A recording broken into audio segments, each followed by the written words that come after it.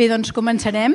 Uh, benvingudes i benvinguts en aquí a la inauguració del curs acadèmic del Moviment de Renovació Pedagògica de Girona. En nom de les meves companyes i companys, agrair-vos la presència en una situació de, de debat col·lectiu i de renovació i d'implicació amb el que és l'educació. Uh, agraïm també a l'Ajuntament de, de Salrà que ens hagi acollit en, aquests, en un espai de trobada amb diferents uh, mestres i, i educadors. Uh, també la presència de dues persones que ens ajudaran a portar una mica el debat d'avui de reflexió uh, sobre mm, la renovació, el repensar, el moment que estem vivint en l'escola eh, catalana avui. Eh, des del moviment de renovació pedagògica eh, estem molt contents de participar en debats col·lectius i oberts. El que volem és una mica això, una assemblea, encara tant de bo hagués pogut ser més arrodonida i que ens, ens haguéssim pogut veure tots les cares, eh, perquè el que volem és partir tots de, de, del de les reflexions compartides, de posar els punts que ens preocupen, que, que en aquest moment ens posen a, a davant a, a l'escola, davant dels nois i de les noies. Com a, com a moment de renovació pedagògica, que celebrem els quart, el quart aniversari, el de Girona, eh? el de la federació va fer el 30 aniversari, som més grans, nosaltres ja ho veieu, eh? estem a educació infantil. En aquest quart aniversari, però n'estem contents perquè anem fent les cosetes a poquet a poquet, anem compartint i sobretot ens obrim a, a, a un debat eh, entre tothom. Eh, com a, voldria començar la, la, aquest, aquest debat eh, llegint els principis que tenim com a moviment i que ens sembla que està bé posar-lo avui aquí sobre la taula. Uh, la primera és que com a moviment tenim aquesta, llegeixo, la mirada cap als infants i joves com una mirada positiva, uh, amb persones com a persones en procés de creixement. I entenem que el nostre rol dels educadors, educadores, és acompanyar aquests processos per instruir i fer. També reivindiquem i treballem una escola pública democràtica arrelada a l'entorn i a l'actualitat, laica i coeducativa. I defensem aquest model d'escola catalana arrelada a l'entorn. I volem una escola que formi ciutadans i ciutadanes lliures, compromesos, creatius i crítics. I això suposa fer una aposta decidida per la igualtat de les oportunitats. En aquest moment, la renovació dels moviments per nosaltres i al llarg de la història és un compromís. És una dinàmica que genera que parteix de l'inconformisme, que un inconformisme eh, analitzant la realitat que vol ser el motor cap a una transformació real de l'escola.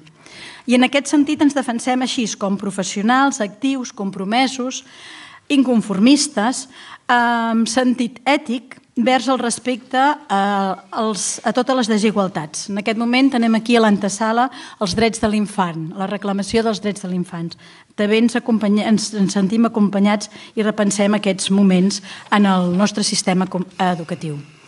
Entenem com a, com a moviment de renovació, som un moviment petit, ja ho he vist, 4 anys, i el, apostem des de la renovació i el repensar l'educació en la, des de la realitat de l'aula, des de l'atenció en els alumnes fins a propostes a, a, de centre i de model educatiu d'escola pública. En aquest sentit ens postulem per canvis que siguin necessaris i fonamentats. Uh, un col·lectiu de mestres que ens preguntem sobre quina és l'arquitectura bàsica del sistema educatiu que volem. Quins materials, uh, quins espais, quins agents i, sobretot, quins fonaments construïm perquè realment aquesta arquitectura d'aquest somni educatiu sigui el que volem. Com a moviment, per tant, obrim aquest espai de, de reflexió conjunta per anar tots cap a aquest sentit. Som conscients que estem en un moment de canvis. Diuen canvis socials i econòmics, això no ho sé del tot, però sí que estem en un canvi de visió de plantejament educatiu.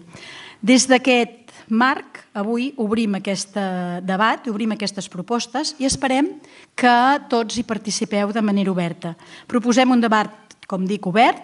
Primer amb dues persones a les quals hem demanat que ens portin una mica el guió fet i que ens ajudin una mica a compartir eh, la reflexió. Una reflexió que no deixa de tenir una mica d'utopia i em sembla que aquesta utopia és la que ens ajuda a caminar. Per debatre, llegiríem les paraules, segur que tothom les té en ment d'en Galeano, La utopía está en el horizonte. Camino dos pasos. Ella se aleja dos pasos. Y el horizonte se corre diez pasos más allá. Entonces, ¿para qué sirve la utopía? Para eso. Sirve para caminar. Doncs caminem, debatem, comencem amb la presentació de les dues persones i us explico una mica la, a, el funcionament de, del debat. Tenim aquí al meu costat en Joan Domènech i Francesc, que suposo que molts el coneixeu, eh, mestre, mm, exdirector i fundador sí, de l'Escola Fructuós Gelabert, membre molts anys de, la, de moments de renovació de la xarxa 012, eh, implicat en la renovació. Eh, llegeixo i m'ha agradat el que té en el blog, per això serveixen els blogs, no? perquè la gent també es defineix, i com que s'ho defineix, diu aprenent de mestre, reivindicador de la vida i de l'educació lenta. No cal dir el llibre de l'educació lenta. Me n'alegro quan veig tantes persones que volen una educació millor. Avui n'estem molt contents, eh? nosaltres també eh, emancipadora i equitativa, que som capaços d'acceptar les nostres limitacions i imperfeccions, quan trobem algú més generós que nosaltres mateixos, quan es posa en pràctica el nosaltres per fer més gran tots el jo. Quan algú pren malgrat tot, quan algú confia sense dubtar. Amb tot això és el que eh, vol aquesta educació millor. Però diu que també s'enfada. Diu, m'enfado davant les incoherències, les falses promeses, la prepotència, les irresponsabilitats, l'engany, les formes que no tenen en compte el fons, la política com a exercici de poder sobre la majoria. Bé, doncs aquest és en Joan Domènech que ens farà una mica aquesta visió eh, sobre aquest eh, fets puntuals, que no són puntuals, sinó que són fets essencials del, de la renovació en el nostre país. I en Joan Maria Girona, suposo que també el coneixeu, mestre i pedagog, membre del Consell de Formació de, de Rosa Sensat, eh, amb una llarga trajectòria tant en els moviments de renovació pedagògica com en formació i també en propostes de reivindicació del fet educatiu. Eh, Últimament tenim la sort de que amb el diari d'educació el podem llegir molt sovint, com a, amb altres, com altres persones, no? Mm, Manlleur també unes paraules que ha escrit en l'últim article, o l'últim que jo l'he llegit de l'octubre, que és Reptes cap al futur per avançar, Diu, la societat catalana hauria de prendre's, o ens hauríem de prendre, seriosament el tema de la formació dels seus infants i, per tant, exigir als nostres governants que ajudin a avançar vers l'escola inclusiva i una educació que estiguin al servei de totes les persones, que lluitin per millorar i, si fos possible, igualar les oportunitats de tothom. Les utopies eviten que avancem per camins equivocats. I el repte final d'aquest article diu és avançar vers una escola inclusiva, una educació que estigui al servei de totes les persones i que lluiti per millorar, si fos possible, igualar les oportunitats de tothom. Les utopies diu que mm, eviten que avancem per camins equivocats i diu, però amb tot cal destriar sempre el blat de la palla. Bé, amb aquestes propostes que no deixen de ser engrescadores, mm, encetem avui aquest debat. Eh, com us he dit, ens agradaria que les aportacions siguin el més àgils possibles. Eh, hem pensat, tenim una estona més o menys limitada, eh, mirarem d'acabar abans de les 8, cap a 3 quarts de 8, 2, 3 quarts de 8 miraríem d'acabar, perquè el que volem plantejar és que hi hagi intercanvi. Uh, uns 10 minuts, que hem donat uns 10 minuts de cada un dels ponents perquè facin la seva primera aportació. Després obrirem un quart d'hora les propostes lliures i interessants que el puguin dir. No es tracta de preguntes, sinó de reflexions. Eh? Ja volem que la gent faci reflexions. Faríem una segona intervenció de la taula, amb algunes preguntes de més o menys que gestionaríem o recollint les reflexions. Tornaríem a deixar uns 20 minutets més perquè la gent tothom pugui dir i aportar i tancaríem el que és la taula. I deixaríem un quart d'hora, 20 minuts, perquè hi hagués també les trobades de grups, de persones que tenen coses per dir-se, que també trobem que siguin que són importants i puguem acabar una mica així tranquils, eh? tornar, hem començat a poc a poc i també acabem a poc a poc. Mentrestant, teniu aquestes targetes Eh? Aquestes targetes diuen que, a què quedes, en què quedes o què vols aportar. Eh, ho teniu aquí, doncs ho, ho podeu apuntar i anotar. Pot servir per ser el guió per explicar o bé ens ho podeu deixar després en aquí a la taula per nosaltres eh, fer un, un recull dels resums i de les intervencions o bé ens ho podeu llegir o podeu deixar-ho i compartir. Eh, es tracta que, que sigui obert i com puguem fer entre tots les reflexions ens ajudin a créixer que és el que volem avui. Eh, per tant, comencem aquí amb el primer punt de partida. El tema és la renovació. Estem, ens repensem constantment l'educació, ens repensem el moment. Eh, com estem a Catalunya en aquest moment? Innovació, renovació, cap on anem, cap on estem. Mm, us deixo la paraula en, en Joan Domènech i en Joan Girona i després obrirem. Joan. Començo jo? Sí, sí, vols sí. Jo faré... faré presentar tu. Això, l'ordre de presentació. Com que no ens ho hem preparat, hem d'improvisar una mica per no trepitjar-nos, perquè el Joan i jo em sembla que coincidirem en moltes coses estratègiques i potser diferirem en alguna cosa tàctica, però mm. també està bé, no? Mm. Ah, ah, quan parlaves de l'utopia, el primer que se m'ha acudit és... Eh, L'altre dia llegia un text d'en Pere Casal d'Àliga que parla de l'utopia i fa una... i també citava Galeano, no? I em va agradar molt perquè em va lligar amb una altra cosa que després us explicaré més tard, o el debat així, no? I ell deia, això de l'utopia, eh, clar, utopia etimològicament vol dir un no lloc, és dir, un lloc que no existeix, no? I diu, quan Galeano ens fa aquesta proposta, l'horitzó que ens ajuda a caminar i tot això, és molt interessant, no? Però ens està abocant per una banda, eh, això, en un lloc que no existeix, i, i per altra banda, eh, és una mica el caldo de cultiu d'aquests que normalment ens diuen segons utòpics.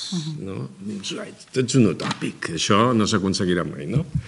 I és una mica mm, crític, no? Des, despectiu fins i tot, eh, no? aquest pensament sobre l'utopia.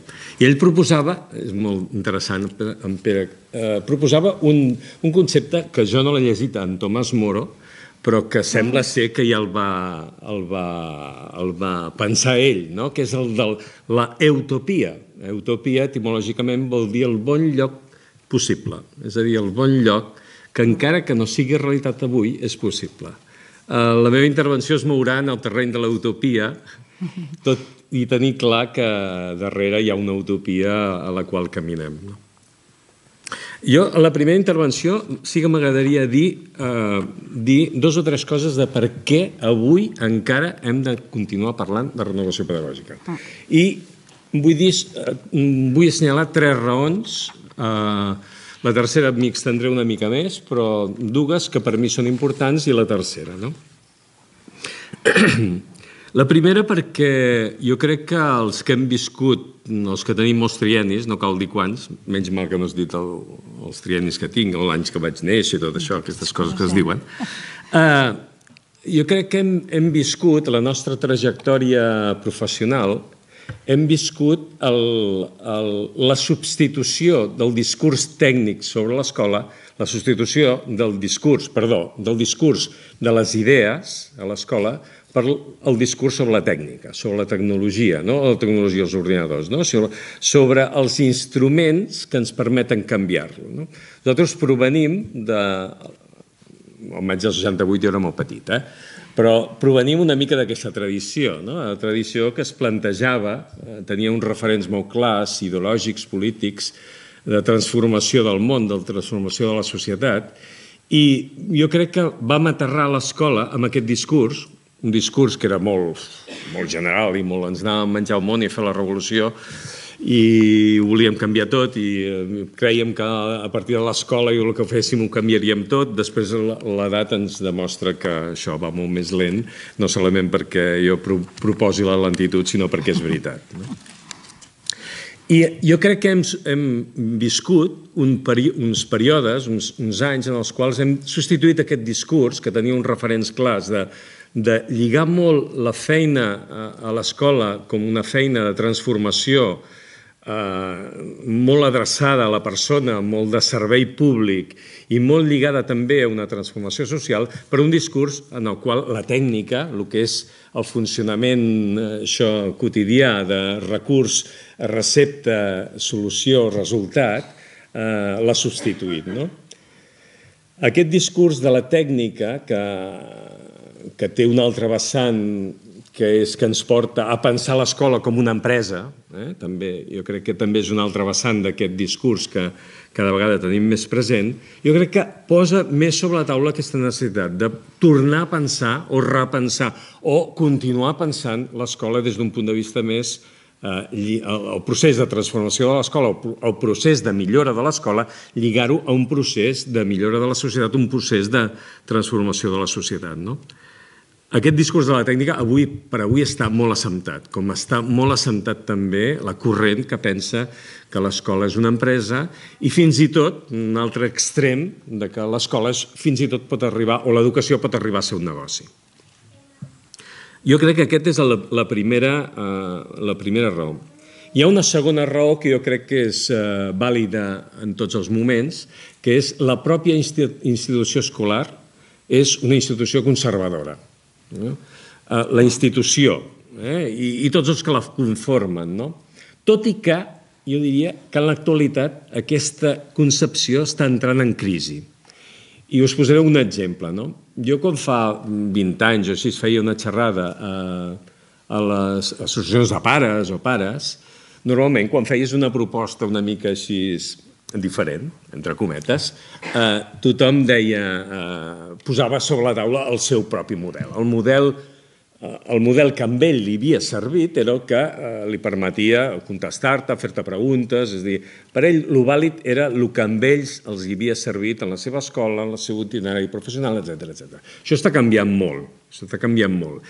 I per tant, això ens indica que malgrat que l'escola tendeix a reproduir i a conservar, a no moure gaires coses, no? allò que diem a l'escola. No? Sempre s'ha fet així, no? aquella, aquella cultura que va, no solament va traspassant-se en els papers, en el projecte educatiu, sinó que va eh, contaminant les parets de l'escola, es converteix a vegades com una mena de, de cotilla, de llosa, d'impossibilitat de, de, de, de canviar moltes coses perquè hi ha unes rutines que es van assentant i que és molt difícil canviar-les. No? Davant d'això i davant, de, per una altra banda, els canvis vertiginosos a nivell social, jo crec que és la segona raó per la qual jo poso sobre la taula la necessitat d'aquesta renovació pedagògica constant o d'aquesta repensar l'escola en funció d'aquest projecte de transformació social. La tercera raó jo crec que és més profunda i, i jo crec que és més, eh, és més preocupant. És més preocupant. Jo crec que l'escola, eh, l'escola moderna, neix d'un gran contracte que fa l'escola, l'educació moderna neix d'un gran contracte que fa l'escola amb la societat. No? Un gran contracte, podem situar-lo segle XVIII, segle XIX, en el qual es pensa, es comença a pensar que l'escola és una institució que la societat crea per tal de fer possible tres grans qüestions. No? L'accés al coneixement per tothom, la justícia, mm, millor, de la millor, tal com ho pensava en aquell moment, i l'emancipació. No? I aquests tres objectius que conformen aquest contracte que fa la societat en l'escola jo crec que avui per avui estan en crisi i aquesta crisi que té l'escola respecte a això que s'havia compromès a fer està creant una situació de desafecció de la societat respecte a l'escola. És a dir, la societat desconfia de l'escola. Estic exagerant una mica, però cada vegada que un nano, eh, un alumne, sigui més de primària o més de secundària, manifesta una certa eh, rebuig a allò que a l'escola passa, jo crec que és un símptoma d'aquesta desafecció. Cada vegada que una família que ha confiat que l'escola eh, ajudarà el seu fill a partir d'una certificació d'uns estudis, etc, a ser, tenir una millor situació econòmica, social, que la que té ells, i se'n dona compte que això no passa, cada vegada que passa això, i això és el que està passant en el dia a dia a les nostres escoles i en les nostres comunitats, eh, es creix aquesta desafecció de l'escola. Per tant, fixeu-vos, he dit tres aspectes, em centro una mica en el primer, que és l'accés al coneixement. L'accés al coneixement, avui per avui, continua sense estar garantit per l'escola. Eh? I més ara, aquest no accés al coneixement que no garanteix l'escola, o aquest accés al coneixement que no garanteix l'escola, millor dit, doncs es posa en entredit cada vegada més per, la, mm, per la, els canvis socials, econòmics, culturals, educatius que viu la nostra societat. En aquests moments, els nostres alumnes saben moltes coses i les saben de tot tipus i les saben no perquè els hi hàgim ensenyat nosaltres, sinó perquè les han après i moltes vegades fora de l'escola. Aquest, aquesta, aquesta, certa, eh, aquesta certa crisi, que podríem afegir-ne d'altres aspectes, el coneixement, a nivell social també està entrant en crisi. En aquests moments no sabem eh, de, molta, de moltes qüestions eh, bàsiques pel, pel futur de, de la humanitat, per futur econòmic, per futur ecològic, estan en dubte. És a dir, hi ha una certa crisi de la modernitat, ens ha portat una certa crisi del coneixement a nivell d'escola, això es transmet, perdó, a nivell de societat, això es transmet a l'escola amb una certa desorientació Eh? I moltes vegades els mestres ens preguntem què és allò que és important que ensenyem, o què és allò, vist des d'un altre punt de vista, què és allò que és important que els nens aprenguin. La crisi d'aquestes tres, tres fonaments que havia tingut l'escola respecte a la societat, jo crec que té el perill de desafecció de l'escola i, per tant, ens interroga directament a la necessitat de pensar els, les tres qüestions, com les solucionem en el marc actual de la societat actual. L'accés al coneixement, què vol dir avui, què vol dir avui la justícia i què vol dir avui l'emancipació de les persones. Jo crec que les tres qüestions requereixen, ens interroguen a l'escola i per tant ens plantegen la necessitat de pensar i repensar cada dia i d'una manera profunda i col·lectivament què hem de fer a l'escola com ha de configurar-se aquesta institució, com ha de fer front a aquests nous reptes que la societat ens planteja. Només parlant de l'accés al coneixement, eh, ens posa sobre la taula la necessitat de que ha entrat en crisi tot aquell, eh, aquella espècie de dogmatisme que havia configurat l'escola. Dogmatisme fins i tot en el bon sentit de la paraula. No? L'escola com a de, dipositària del saber que s'ha de transmetre a les noves generacions, tot això ha estat entrant en crisi perquè en aquests moments no sabem ni a nivell social ni a nivell escolar quin és el saber que hem de transmetre a les generacions del demà i posa sobre la taula la necessitat, per exemple, que si volem reprendre aquest compromís de l'escola amb la societat respecte a l'accés del coneixement, sigui molt més important treballar, educar, per construir amb els nostres alumnes una actitud d'indagació crítica constant sobre allò que passa que no omplir-los el seu cap de, eh, de continguts a vegades deslligats uns dels altres, a vegades poc rellevants o a vegades fins i tot molt superficials o que són efímers. Eh? Els entren al seu cap i de la mateixa manera que entren surten.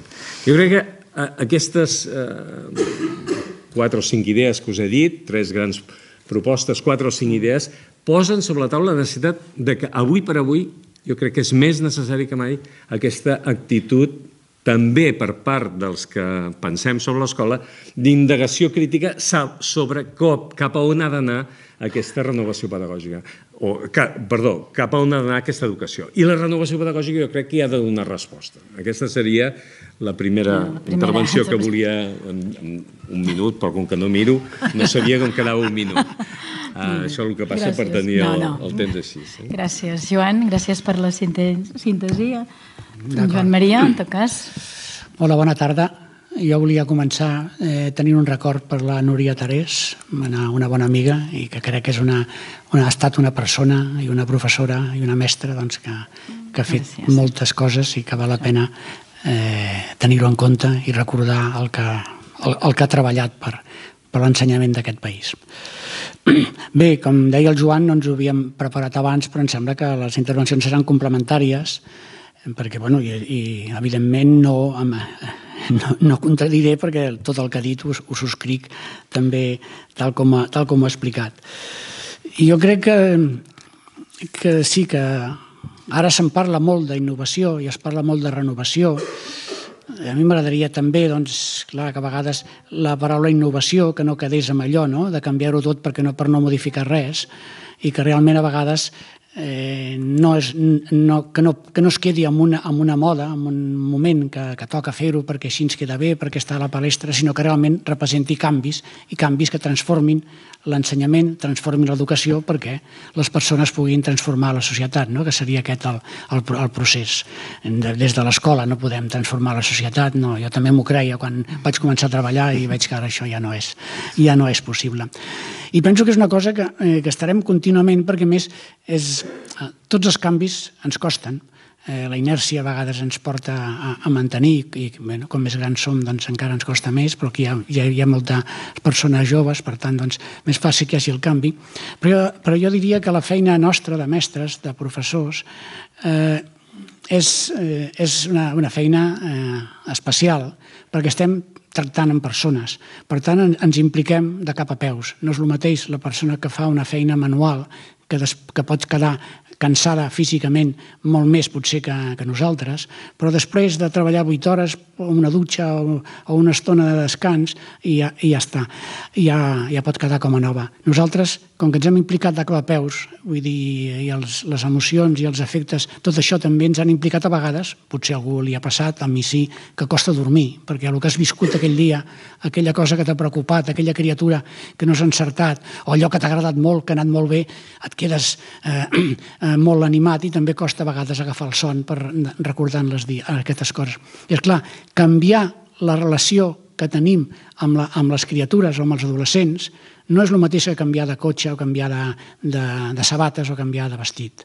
I per tant, doncs, això també implica qualsevol canvi. Treballar, el, podríem dir, de la manera tradicional o treballar per projectes, per dir una cosa que ara està molt, també molt de moda, doncs, implica una relació diferent amb, amb el nostre alumnat. Per tant, ens implica molt a nosaltres de cap a peus. Per tant, no és allò de dir, home, eh, avui ja deixo els llibres i començaré a treballar doncs, d'una doncs, altra manera.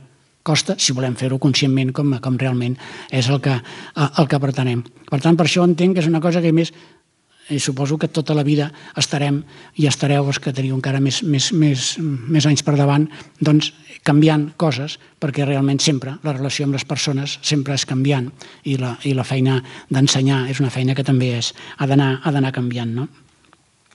Ara també és important, deia això perquè poso un exemple d'això de, de que els canvis que no, que, que, que no són canvis per mi. Quan es va, es va fer el programa de l'1 per 1, que van començar a donar eh, algunes aules doncs, un, un, un ordinador per a cada alumne, algunes escoles van agafar llibres digitals.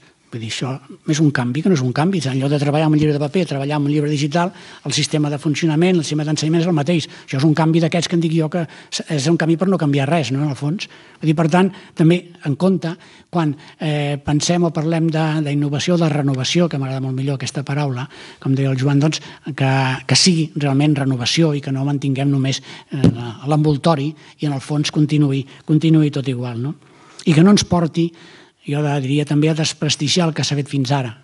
Vull dir, realment, jo poso que cada moment hem donat de la millor manera que hem sapigut resposta al moment que hem viscut i a l'època que hem estat. Jo que vaig tenir... Eh, bueno, jo vaig començar a treballar al 73, encara vivia el dictador, i les il·lusions d'aquell moment quan va, es, es moria el Franco i començava, pensàvem que començaria una bona democràcia i tal, després va quedar una cosa no, no tant, no tant, però bueno, aquelles il·lusions doncs, portaven a fer, i potser la renovació que van fer pedagògica era petiteta, però en canvi l'actitud i, les, i la manera i la il·lusió per treballar treballar amb les criatures i canviar coses, doncs hi era. I potser vam fer coses que potser ara diríem quines ridiculeses, però que realment donàvem, vam intentar donar resposta en aquell moment concret. I penso que ara s'està fent el mateix també amb uns altres paràmetres, en una altra situació i en un altre moment, moment històric. No? I l'altra cosa és que eh, eh, de l'escola no només ensenyem, sinó que eduquem. Però, clar, l'educació té una dimensió molt més àmplia.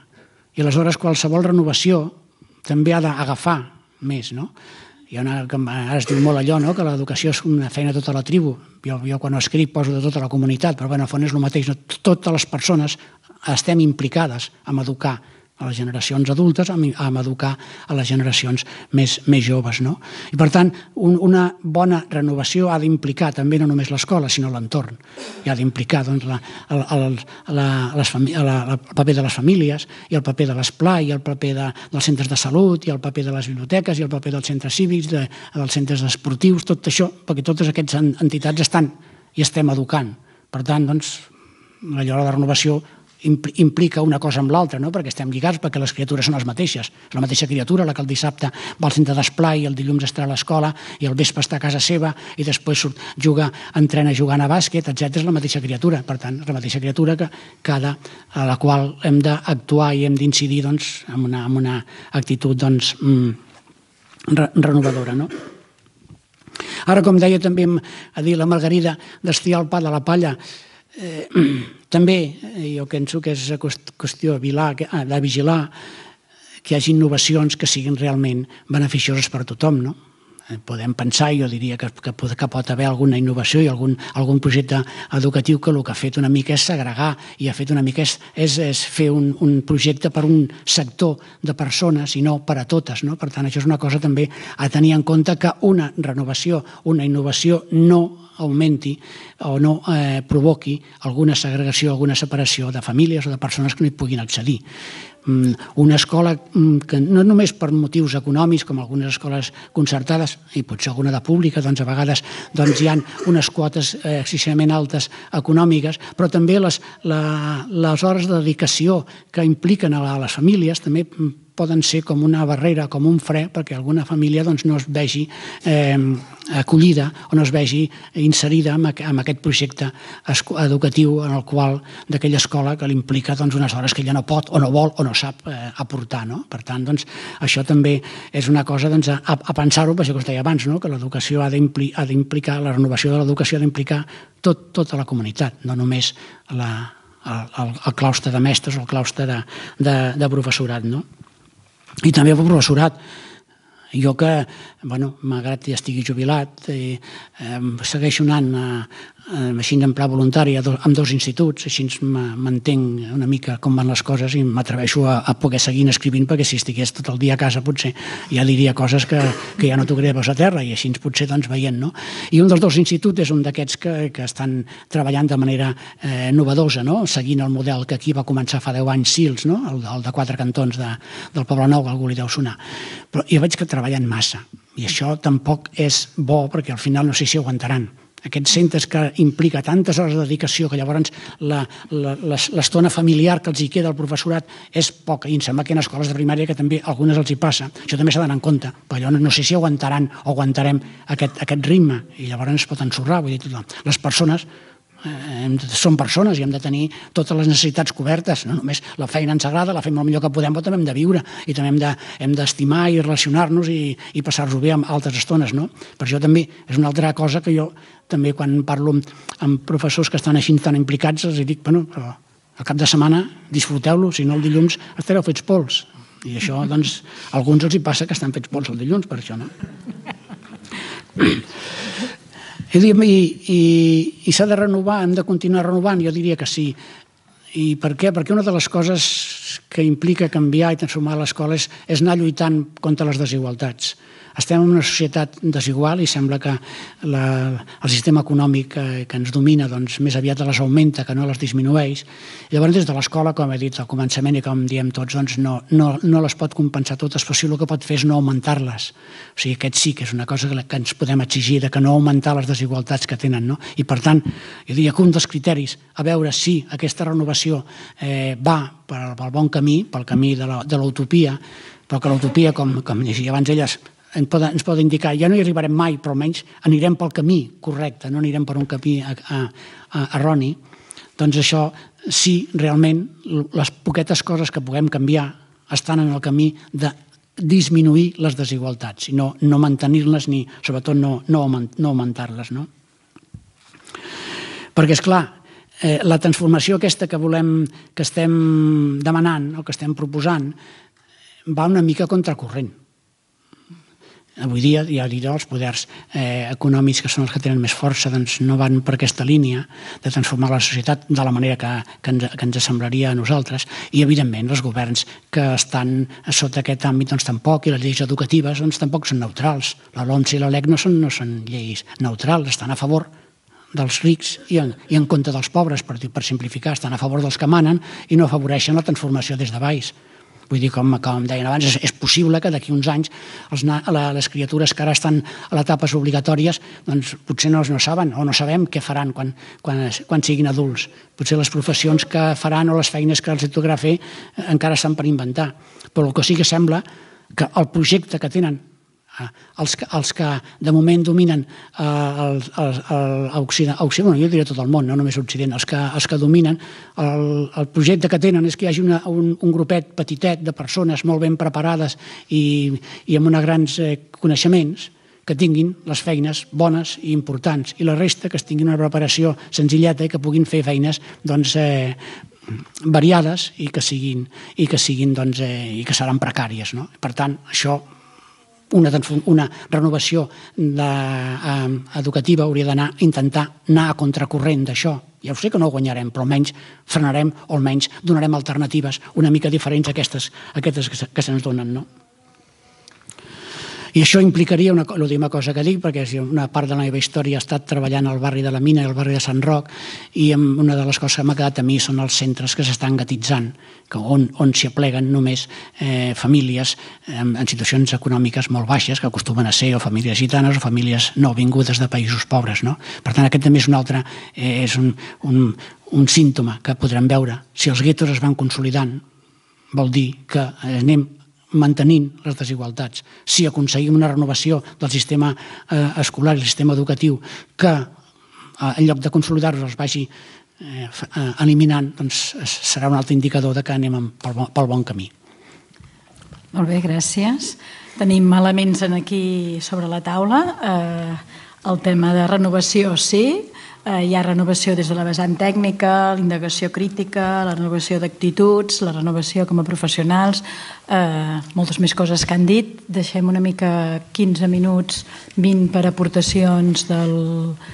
obertes, reflexions, eh, si voleu agafar la paraula el que han dit, aportar noves coses, obrim en aquest moment. Eh, em sembla que se sent molt bé, però deixarem, donarem a no sé. Algunes aportacions? Ja? Aixequeu la mà que els irem veient. Us presenteu si voleu. No, bueno, el que m'aixequi. Uh, bueno, soc la Dana i estic estudiant pedagogia i amb una cosa que últimament ens, ens estan com presentant molts textos té molt a veure amb el que acaba de, de parlar, tot això de la mercantilització de l'educació. Vam haver de llegir un article d'en Jurjo Torres i ens, parlant amb companyes tenim la sensació que el fet d'estudiar pedagogia és com una mica... Mm, que és com una tonteria. I que no, que no servirà gaire, gaire de res. I doncs amb aquesta visió utòpica que dèieu, m'agradaria saber si podíeu explicar una mica més què en pensàveu, tot i que crec que heu deixat molt clar que no hem de perdre aquest pensament més, més utòpic.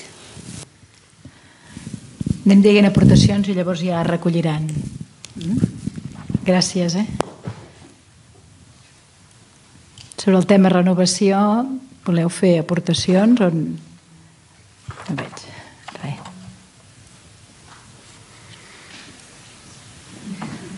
Aquí davant. En Jordi, gràcies.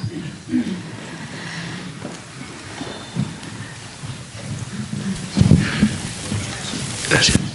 Bona tarda, em dic Jordi Feu i sóc professor a la Universitat de Girona, just amb pedagogs i pedagogues. Una gran alegria que estiguin aquí. En primer lloc, felicitats a l'organització perquè un dia com aquest ha plegat tanta gent eh, pels que no hi hem estat sempre vinculats als moviments, crec que això és un fet extraordinari i que en certa manera és revelador, m'assembla, mm, és una idea, és només un comentari, d'un moment especial que estem vivint. moment especial en el sentit que fa la impressió que des del 2000 cap en endavant eh, ens trobaríem en una tercera, no sé si onada o quin, quin nom li hauríem de posar, de renovació pedagògica, tot singular i tot particular, perquè veiem, diríem, unes ganes de refer i de reconstruir l'escola des de projectes molt diversos i des de vessants i àmbits també molt plurals. No? Des d'algunes escoles públiques de nova creació i centres de secundària que en el moment que han nascut de nova planta eh, ve, veig eh, en alguns centres una il·lusió eh, boja, utilitzo justament aquest adjectiu per construir una nova escola i una nova societat, cosa que alegra. És veritat, com deia en Josep Maria, alguns d'ells innocents perquè hi deixen la pell i a banda de l'escola i del projecte hi ha altra vida. M'ha semblat, vaja, molt important això, però que també una part d'aquesta renovació es fa per part d'escoles públiques que a pesar de tot, a pesar de tot, fan els impossibles, escoles ja creades, per reconvertir una cultura escolar, per reconvertir un projecte de cap i peus, etc etc. Després voldria fer un apunt amb aquesta qüestió. I després també veiem algunes escoles eh, privades, privades jo diria no elitistes, privades perquè no tenen cap més opció, que des de pedagogies alternatives i des del marges, en projectes molt singulars i que moltes vegades pengen d'un fil, estan trencant la llança amb projectes educatius interessants que ja veurem com acaben. En qualsevol cas, només un petita mm, referència a aquestes escoles públiques que eh, ja fa temps que existeixen i que intenten refer, reconstruir el seu projecte escolar i fer una renovació pedagògica integral integrada, el que m'ha sorprès, parlant amb alguns d'aquests centres, les grans dificultats que tenen per dur-ho a terme i perquè aquesta renovació sigui sostinguda i sostenible. I el que voldria compartir aquí, amb la taula i amb altres mestres que potser estan aquí i que es troben en aquesta situació, és que els problemes no són fonamentalment de tipus econòmic, que també, eh? no els oblidem, no penséssim que tot això està cobert, sinó més aviat problemes legals i burocràtics que amb una mirada, mmm, des del meu punt de vista, antiga, caduca, de serveis educatius del segle XIX, mmm, no és que ja passats de moda, és que de la prehistòria, continuen legislant, ordenant i sobretot eh, intentant ordenar l'escola. I és en aquest sentit que em sembla important reivindicar i reapropiar-nos del concepte d'escola pública, entesa com a escola del poble i no pas escola al servei de la consellera, del conseller, del director dels serveis territorials o de l'inspector. Consellera, director dels serveis territorials i inspector, que si té bona mira, ben bon punt de mira, doncs mira, alabat sigui el senyor. Però que quan això no és així, el desastre i la tragèdia és gran, eh? perquè aquella escola pública que ha d'estar al servei d'un inspector per definició ignorant, la tragèdia és molt gran. Eh? I en aquest sentit veig la necessitat de reivindicar aquest concepte d'escola pública com a escola del poble. Les aportacions?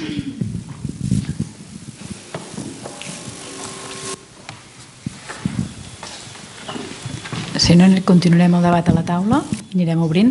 Recordeu que teniu també aquí per apuntar, i si m'ho voleu donar, jo també ho puc fer-ho públic. N'hi ha una altra? Hola, bona tarda. Bona tarda. Jo presento, sóc l'Eva Trias, sóc mare de dues nenes, jo no sóc del món docent, sóc una... Bueno, actualment porto endavant una plataforma per la continuïtat de la nostra escola, el 9 de quart, per tenir un 316. Em coneix ja força gent, perquè ens hem mogut molt. Llavors, una mica veient tot això que parlàveu, jo trobo a faltar com a mare, perquè sóc totalment externa a aquest món, és això que parlàvem, de tenir comunitat educativa. La, la pedagogia que s'està fent és bona, però a nivell de famílies ens queda molt lluny. No sé com s'ha d'arribar tot això, jo sóc de les que m'hi he posat i vull aconseguir altres coses i m'he posat també el FAPAC amb la idea de compartir una mica tot això que digueu, de fer una renovació. Esteu parlant d'una renovació pedagògica, però també de fer una renovació a nivell familiar. Realment crec que és molt important, començant pel poblet que tenim, que també estem lluitant amb això, a veure si aconseguim fer comunitat educativa, que fàcil no ho és, però que està clar que, que hem d'anar de la mà. I dissabte vaig estar a l'Assemblea General del FAPAC i m'he donar compte, parlant amb altres presidents d'altres eh, associacions, que també tenim ja el problema de que un AMPA o un AFA, que ja comencem a partir d'aquí que s'han de canviar coses, i tots coincidíem en que la comunicació aquesta, amb l'escola, les famílies, queda molt lluny, però molt lluny. Llavors, bueno, compartir una mica tot això també. Gràcies. Gràcies. Som-hi. Hi ha una altra aportació?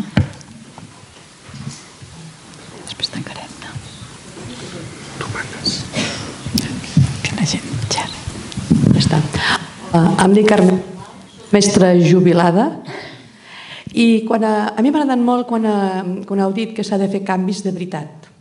I, bueno, no sé, potser el que caldria a les escoles és que convertir els claustres, els cicles, les reunions de nivell en espais de reflexió i no espais de, només d'organització, que això en aquests moments pues, ja es pot fer uh, via telemàtica.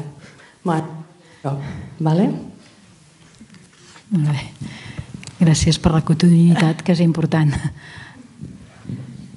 Què més? Donem, doncs, a partir d'aquestes reflexions, si no hi ha cap més aportació en aquest moment, anem la veu a la taula. Mm, vols començar, Joan Maria, ara?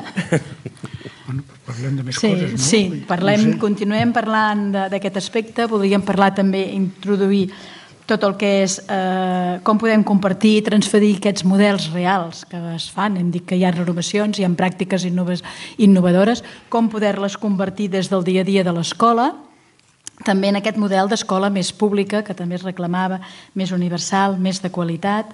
Eh, quin sentit té un, la renovació d'escola avui? Eh, una mica és aquesta la idea, quina escola volem, eh? I, i recollim una mica aquests processos. També obrirem el, el debat. Eh, Joan Maria? Bueno, alguna pot tenir referència a les aportacions que, que heu fet, que són eh, molt, molt interessants. Vull dir, jo penso que val la pena eh, estudiar pedagogia i val la pena estudiar per a mestre Eh, no sé, no és tan important, ara, si, algú ha llegit aquestes ponències que ha fet el Consell Escolar de Catalunya, ara és demà, això que volen fer obligatori fins als 18 anys i començar a obrir les escoles als dos anys, bueno, una de, una de les coses que posa aquestes mm, ponències és que s'exigirà a totes les persones que vulguin fer de mestre de profe un màster, però no el màster aquest de secundària, sinó un màster d'aquests que val, que val uns, quants, uns quants euros, no? per, per garantir la qualitat de, de, dels mestres. Jo crec que és més que això, eh, no cal que fer un màster, però que sí que ha d'haver una bona preparació, però també que la cosa que, que ens queda al marge, a vegades, i almenys a secundària, que és on té, jo he treballat la meitat de la meva vida professional primària i la meitat de secundària. La, la segona part ha estat a secundària. I el hàndicap mmm, no és la preparació, que també pot haver, però la, el hàndicap més gran és la manera de tractar l'alumnat la majoria de professorat de secundària no sap què fer amb 25 o 30 adolescents a l'hora a l'aula. Quan en tens un o dos a casa, com suposo que alguna l'heu tingut o el tindreu, doncs però tenint a 25 costa. I, I aquesta capacitat de relació amb un grup d'adolescents i amb un grup d'infants a petits, això, això també també s'ha de pensar i també s'ha de valorar i també s'hauria de, de reflexionar a l'hora de preparar-se una persona per dedicar-se no només a conèixer que també eh, la, el que ha d'ensenyar i la manera d'ensenyar-lo i les millors metodologies i les millors didàctiques, però aquesta relació eh, personal que s'ha d'establir i que per força això normalment, no sé, les oposicions no t'ho demanen en absolut quan fas oposicions i, i no sé si les entrevistes per les escoles concertades els hi pregunten si aquesta capacitat la tenen o no, però després molts problemes a les aules venen per aquesta, eh, per aquesta mancança que, que, que tenim o que tenen moltes, eh, algunes persones, no? I importantíssim, o bueno, això ja he dit abans, no? que la importància d'implicar les famílies amb, tota, amb, amb, amb, la, amb el funcionament de les escoles.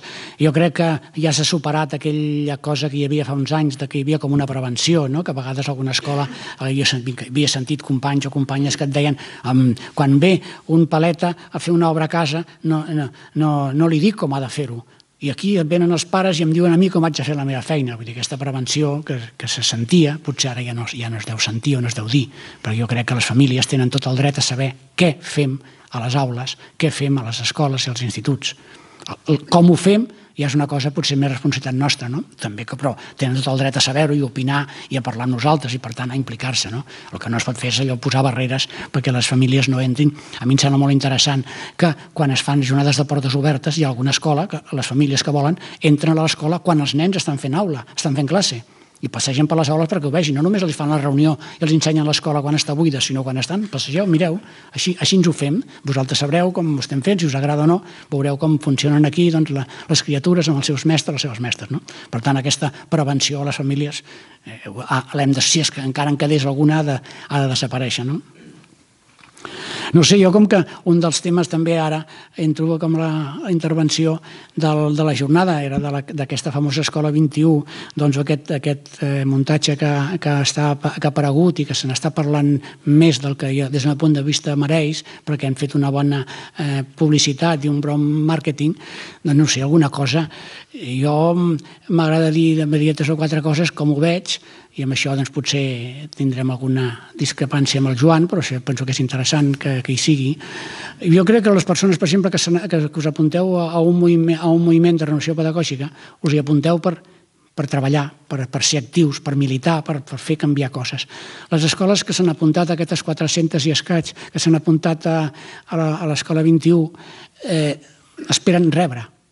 No sé si esperen aportar que els donin alguna cosa. Vull dir, és una actitud un xic, un xic diferent. Aquest és un element que a mi em fa pensar. Un altre element, els, bueno, si algú de la meva edat per aquí, però alguns eh, s'hi acosten, quan l'any 79 es van fer les primeres eleccions municipals i que van guanyar a les, a les ciutats mitjanes i grans, a Girona van guanyar els socialistes, llavors eren un partit més aviat progressista, doncs eh, què va passar? Que eh, les persones que estaven endavant dels moviments socials van passar a formar part dels ajuntaments i, i automàticament la majoria de moviments socials van, van baixar la seva capacitat d'actuació, es va notar molt. I a més a més alguns ajuntaments van intentar des de, des de l'Ajuntament controlar els moviments socials en el qual es van apagar. No podria ser que ara que s'està donant, abans que aparegués això, o sigui, que això ha aparegut fa un any, eh, la renovació s'estava fent i, com has dit jo, a primària hi ha força escoles que ja fa anys que ho fan, a secundària potser, que jo sàpiga, el més antic és el de Sils, però després ara hi ha uns quants més que ho fan, i han aparegut els jesuïtes i, i han fet molta propaganda, a Sils, com que és el departament, doncs el departament no va fer cap propaganda, ni la renovació que fa als, als, als escoles i instituts públics doncs, es coneix menys perquè qui hauria de fer la propaganda no en fa. En canvi, quan la fan les, a les, centres privats, doncs tenen el màrqueting i tenen la, la multinacional doncs, de Jesuïta o, o Escolàpia o el que sigui doncs, que fa, doncs, doncs es coneix molt més que, que els altres. No? Però això no vol dir que no, que no hi sigui que no sigui, i que no sigui més, eh, més interessant. No? I llavors, doncs, a mi el que fan coses que eh, no, davant aquest, aquest ventall d'innovació que cada centre en, a, a, va fent els que fan innovació i van fent canvis i cada un al seu ritme i cada un en funció del seu mm, realitat que té, de, de, de, de, la, de la mena de mestres i profes que s'hi apleguen, de l'entorn de, del barri de, o del poble de la ciutat, de, de les famílies que, que, que estan allà, doncs han de donar resposta a aquesta realitat i, per tant, la innovació, la renovació és diversa. Potser hi ha un intent d'homogeneitzar-la i fer-la tota una mica més i, i poder-la controlar és una altra cosa que a mi també em fa eh, pensar per què dedicar tants esforços i, fer tanta, eh, tant de màrqueting que tothom sàpiga, quan total s'han apuntat no, 400, no sé quantes escoles, déu nhi però això és el 15% de les, de les escoles que hi ha a Catalunya. Tampoc és, és la majoria, és una minoria, són el 15% només. Eh? N'hi ha 4.000 també llargs d'escoles eh, entre públiques i concertades de primària i secundària, perquè a totes, totes i, i de totes n'hi ha amb, amb, aquest, amb aquest moviment, no? Jo estaria, això ho ha dit el Jordi Feu, i això també ho tenia apuntat per dir-ho, eh, l'escola pública és l'escola de tothom. Penso que la renovació, de debò, és la que es pugui fer i la que es faci a l'escola pública perquè és la que està a l'abast de tothom. Una renovació que no estigui a l'abast de tothom, doncs realment eh, a mi em crea eh, interrogants. I una renovació que serveixi tant com pel, cent, pel, per la font de la pólvora que teniu aquí a prop o per una escola concertada religiosa, també em crea interrogants el programa de TV3 que va fer doncs, sortien això des d'una escola on havien de donar menjar als, als, als nanos de l'ESO que, que alguns es, es marejaven i un altre doncs, que sortien monges vestides amb, amb, l'hàbit i tot no, no, i doncs, bueno, clar, una renovació als dos llocs tot, tot serveixi eh, no, no crec que sigui eh, una bona renovació que faci canvis de veritat com, com, jo, com jo deia, com jo deia d'abans. No? I l'última, que bueno, això també pot tenir, eh, pot tenir altres lectures, no tan determinant, però clar, que, per què el departament externalitza la formació? La formació dels mestres és una, una competència del Departament d'Ensenyament. I ara l'única formació que es fa és la, és la que, de la que pagarà la Caixa amb aquesta, amb, aquest, amb aquesta entitat de l'escola de l'escola 21, perquè el departament ja pràcticament no en fa de formació. Clar, això és, és, és externalitzar i és privatitzar una feina, és com començar a continuar la línia privatitzadora que porta el departament. Aquest any s'han tancat 60 aules de P3 públiques i 3 de concertades. No? Vull dir, això és una manera dissimulada, tranquil·la d'anar privatitzant. Això, doncs, si això no, no ho revertim, la, la, la innovació que aquí es porti a mi no, no m'acaba no no d'agradar. bueno, de moment ho deixo aquí perquè si no em menjo el temps. No? També. Gràcies. Uh, Joan? No, no sé si començar pel final o pel començament. Enganxa, no vulguis. Uh, el primer, a la pedagoga, futura pedagoga. jo crec que abans, abans ha dit el, el Joan una frase, no sé, em sembla que has estat tu, de dir això, que jo també he fet referència i que jo crec que dona sentit, però el que passa és que hem de fer una lectura. Ara explico. Uh, quan vam començar a treballar ens volíem menjar un món, em sembla que ho he dit jo, sí. això, i ell també ho ha corroborat. No? I després la vida ens demostra que el món és, és, costa molt de digerir, no? i llavors optes per altres coses, no? relativitzes més. No? Però això donava un sentit molt clar a la professió, eh, el sentit polític, no? El sentit polític, no el sentit eh, negatiu de la paraula polític, no? El sentit d'això, de, de, de, de servei públic, de... I jo crec que els que tenim una certa edat eh, hem viscut molt això, aquesta idea, i avui per avui, com que això està en crisi, i ho hem, ell ho ha dit, i ara ho vull matitzar, l'escola no transformarà la societat. Ens falta a vegades una mica el referent. No? Jo, que he pensat molt en això, jo ara últimament dic una frase que no sé si t'ajudarà o que sigui. No? Jo penso que l'escola no transformarà la societat, però la societat no es transformarà sense l'escola. Jo crec que hem de ser capaços, per, perquè el, la història ens, ens volíem menjar la societat, la societat se'ns ha menjat a nosaltres, però ara tampoc no ens hem de quedar amb una idea de que l'escola no té capacitat transformadora. No? I jo repeteixo, i n'estic plenament convençut, després de molts trienis i molts sexenis, que si hi ha d'haver alguna transformació no pot ser sense l'escola. No? Per tant, jo crec que això em continua donant eh, sentit, força o digue-li com vulguis a la, a la professió. Jo crec que és una professió que és engrescadora.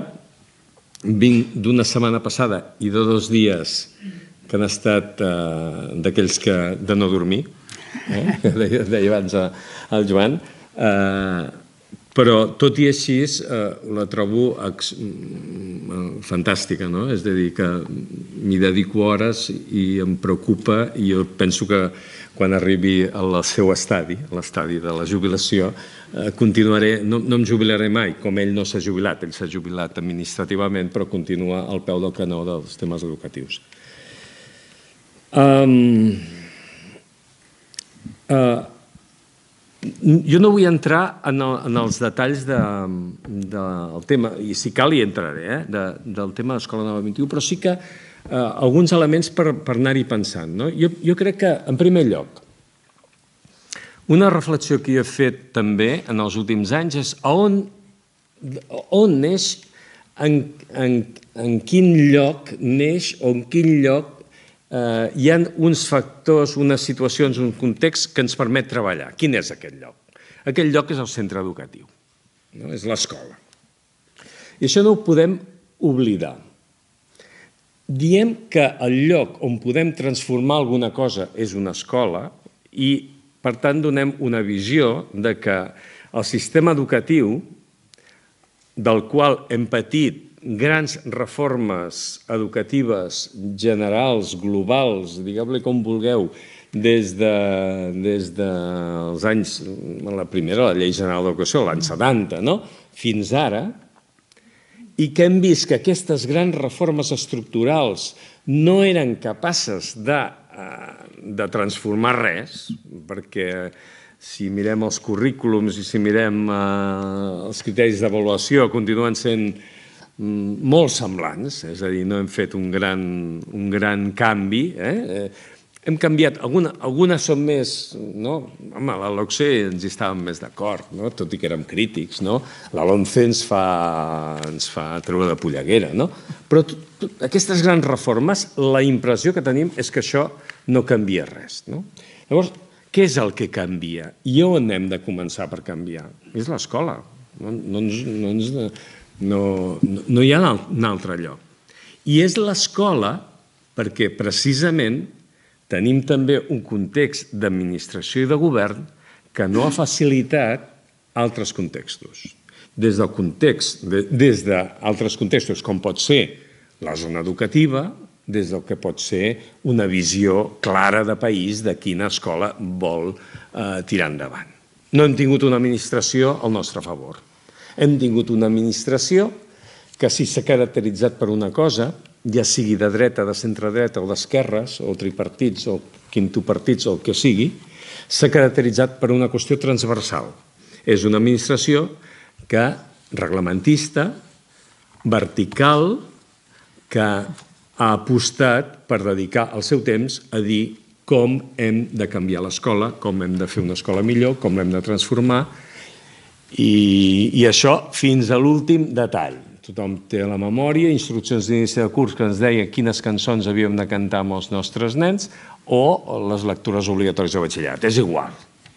Mireu, d'allà on mireu, us trobareu amb una administració que en comptes de crear condicions perquè les escoles puguin fer aquest canvi, aquesta transformació o renovació, s'ha dedicat a dir com ha de ser aquesta transformació, aquesta renovació, i menys mal menys mal que ha tingut un sistema de control que fa aigües per tot arreu. Malgrat tenir la inspecció de Catalunya ha posat els ulls de tots els resultats i tots els aplicatius que hem de fer des de les escoles, tothom sap Malgrat, malgrat això, tothom sap que a l'escola podem fer moltes coses que jo no diria que siguin il·legals, però que són alegals, segur, segons la legalitat. Ahir que sentia el Trillo que prenia... Ai, el Trillo, el, el Millo, que prenia posició, vaig dir, millor que no sàpiga el que fem a l'escola perquè ens assaltem a la, a la mínima que podem, ens assaltem naturalment no d'aquestes grans lleis, però sí les petites disposicions que constantment et diuen el que hi ha. Per tant, aquest és el context. No? En aquest context, la feina que fan les escoles és la feina fonamental, és el lloc, um, és el nostre, el, el nostre terreny, és el nostre context. Aquí és allà on hem d'afegir, eh, hem, de, hem de fer possible un pensament diferent sobre l'escola, una realitat diferent sobre l'escola.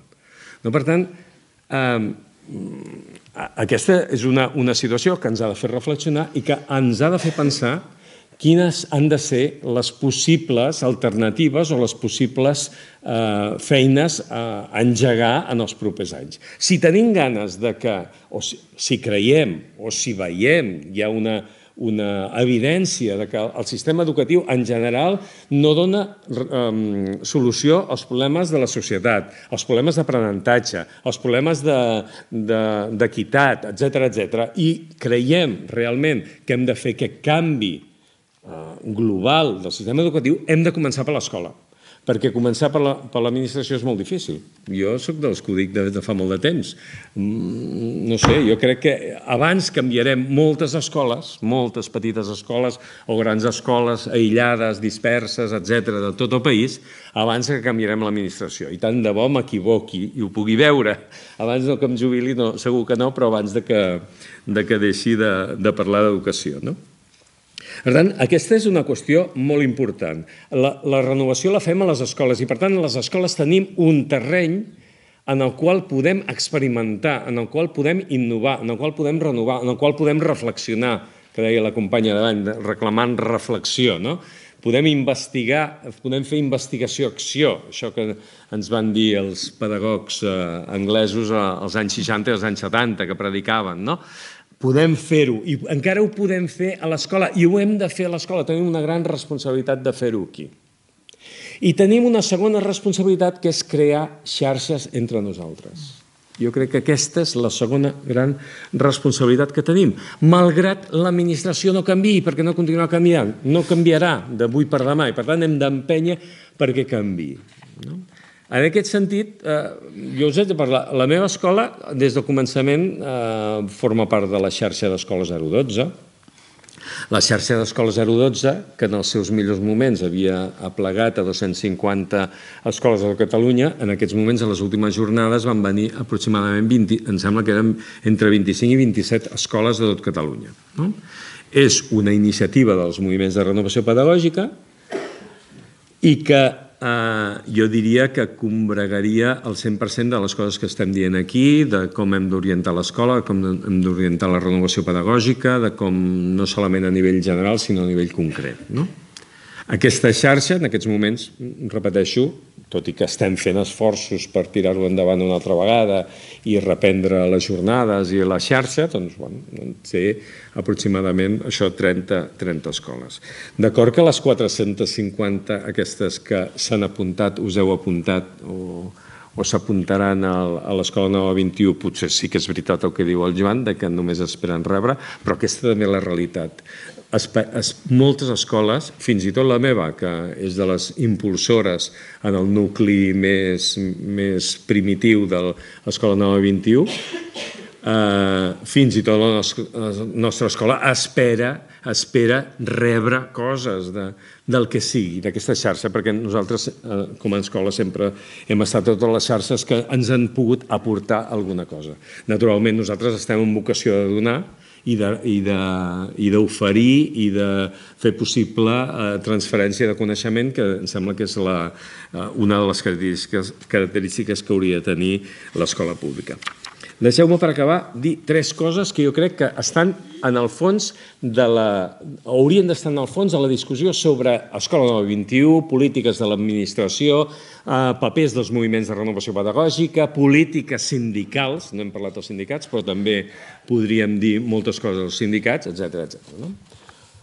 Jo crec que en la construcció de un nou sistema educatiu o una nova mirada sobre l'educació o una nova escola, digueu-li com vulgueu, renovada, repensada o que, o que sigui, el que hem de reflexionar sobre, sobretot sobre tres qüestions que a mi em semblen molt importants. La primera, l'ha assenyalat tu, és el tema de l'equitat. Eh, la desafecció que té la societat respecte a l'escola és perquè l'escola no garanteix l'equitat. I havia estat un dels elements del pacte que s'havia fet en el moment de la il·lustració. La justícia que l'escola aporta a la societat és la justícia que substituïa els drets de l'herència pels drets de l'esforç, aquest fals, eh, aquesta, aquesta falsa premissa que després s'ha posat en crisi les persones podien ser, eh, eh, ser bons ciutadans, eh, amb tots eh, incorporar-se a la societat, no per l'herència que tenien, sinó per l'esforç que feien. I això és la gran aportació que va fer l'escola en el seu moment. En aquests moments torna a ser una cosa importantíssima, això. Per tant, el tema de l'equitat és un tema clau. L'escola és capaç de treballar per aquesta equitat o no és, no és capaç per treballar amb aquesta equitat. En aquests moments hi ha desigualtat des de molts punts de vista, no solament entre la xarxa pública i la xarxa privada, entre la xarxa pública de sector social o culturalment o econòmicament més poderosos els que estan més... No, no, hi ha també diferències i desigualtats per escoles que intenten reprendre aquesta crisi del coneixement a l'escola renovant continguts, currículums, programes, metodologies i les escoles que continuen agafades, deixem-ho dir així en plan demagògic, al llibre de text, a la programació vertical, el que de dalt vinguin i em diguin el que haig de fer, de la mm, poca democratització de l'escola o la de la distància, com ha assenyalat aquella mare, entre escola, entre mestres, entre claustre i famílies. Aquí hi ha una gran desigualtat. Les, hi ha moltes escoles que estan plantejant, i més igual si són, ara diré una cosa també eh, polèmica, privades o públiques, però que estan fent un gran esforç per, per entendre's i per relacionar-se amb les famílies, no? i que estan creant comunitats en les quals, mm, per quins motius, que sigui, però això és un element important. No hi haurà renovació de l'escola només des del punt de vista dels mestres, encara que els mestres puguin ser un element clau. Per tant, qualsevol projecte de transformació de l'escola ha d'anar acompanyat d'un compromís i una complicitat de tota la comunitat educativa. Tant, la desigualtat per mi és més en aquest terreny que en els altres, tot i que en els altres ja sé que també hi és, eh? perquè suposa també una desigualtat d'origen que l'escola és molt difícil de, de, de tirar endavant.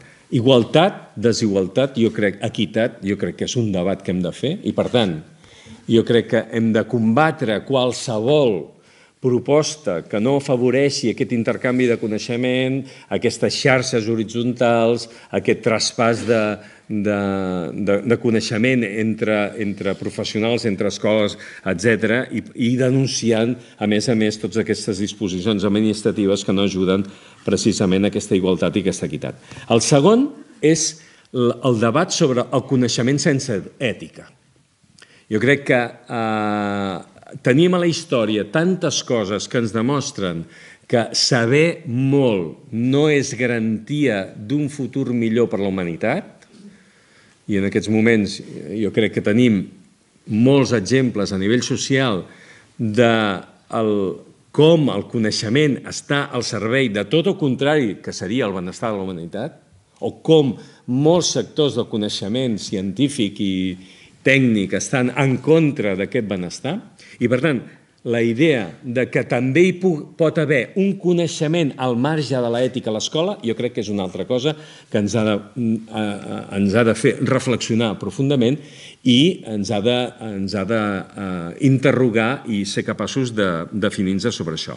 Aniria lligat també amb el tema de la reflexió. L'escola s'ha de plantejar no solament quins materials fa servir, quina metodologia fa servir, sinó per a què està educant. I a les escoles hem de fer sessions en els claustres i amb les famílies per aclarir-nos sobre per a què estem eh, educant i en quina direcció i quina societat volem fer i quins ciutadans volem, volem, eh, volem construir entre tots plegats. I la tercera cosa que jo crec que és un gran debat que ens interroga també és una mica amb la idea també, em sembla que ho has citat tu també de passada, és la idea de què és el que és vàlid en aquests moments. Totes les experiències són vàlid, vàlides? Totes les iniciatives són vàlides? L'altre dia em deien, ah, discutint amb una persona del Departament d'Ensenyament, deia que es carregava també això de l'Escola Nova 21 per altres motius no els teus, eh? no, no té res a veure. Deia, però que nosaltres ja tenim la xarxa de les competències bàsiques que hi ha més de mil escoles. Sí, però la diferència entre mil experiències aïllades de mil escoles i un canvi que per mi ha d'agafar el tot el sistema i ha d'agafar el centre com una entitat bàsica de la renovació pedagògica, jo crec que és important. I per tant, aquí tenim un altre element a reflexionar i a, i a pensar-hi. No? Totes les experiències són vàlides. Quins són els criteris que en aquests moments les, les experiències, les actuacions, les accions pedagògiques que fem a la nostra aula, en el nostre centre, a la nostra escola, el nostre cicle, en l'intercicle, allà on sigui, a la petita escola rural o la gran escola urbana. Aquestes experiències educatives, que moltes estan fetes amb molt bona intenció, amb, amb una idea de, de ganes de fer les coses diferent per donar resposta a aquestes coses que no funcionen, aquest, a, a aquestes evidències de coses que no funcionen, quins són els criteris que hem de ser capaços d'elaborar entre tots i traspassant-los, sí, ja ha passat el temps, no? Sí. entre tots, com per què donar validesa a aquestes experiències de renovació. No tot s'hi val. Les tres coses no estan separades. Eh? Gràcies. Eh, no sé si voleu dir alguna cosa, però en tot cas tornaríem a obrir un torn de paraules perquè em sembla que ja han portat més elements en el debat, eh, en el tema innovació-renovació, en el tema Escola Nova avui. Eh, aquí davant. pràctic només, abans, eh, podeu compartir les vostres reflexions de, de viva veu o també hi ha una altra manera. Recordeu que hem passat la targeta de, amb què et quedes. Si a qui li vingui de gust durant aquesta estona que queda de debat, eh, ens les pot anar fent arribar i nosaltres les anirem enganxant en aquest mural que tenim per tal que tothom la sortida doncs, hi pugui fer un, un cop d'ull.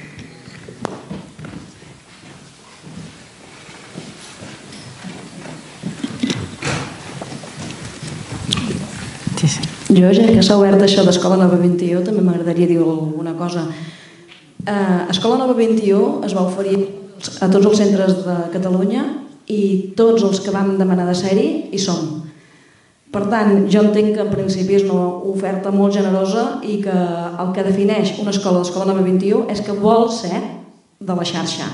Per tant, és una escola que es compromet amb el canvi, que ha, ha decidit col·lectivament repensar el que està fent, eh, plantejar-se nous horitzons, d'entrada és bo.